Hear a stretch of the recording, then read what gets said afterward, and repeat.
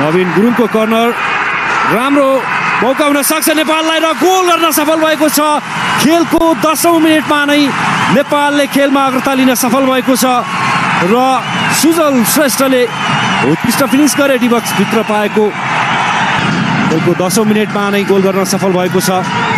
हामी हेर्न सक्छौँ नवीन गुरुङको कर्नर थियो र हेड क्लियर गर्न खोजेका थिए। त्यसपछि आशिष लामाले प्रहार गरेका थिए र डिबक्सभित्र रहेका अञ्जन र सुजल श्रेष्ठले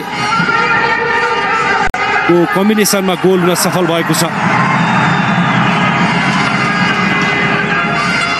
आशिष लामाले डिबक्सको नजिकबाट प्रहार गरेका थिए र अन्तिममा सुजल श्रेष्ठले गोल गर्न सफल भए। नेपाल एक शून्यले अगाडि रहेको छ। हेर्न सक्छौँ उजन उपरकोटले जुन किसिमले बललाई